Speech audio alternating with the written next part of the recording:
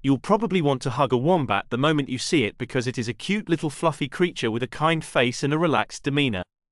Don't let appearances deceive you, though. Wombats have teeth that resemble those of rodents and are aggressive when confronted.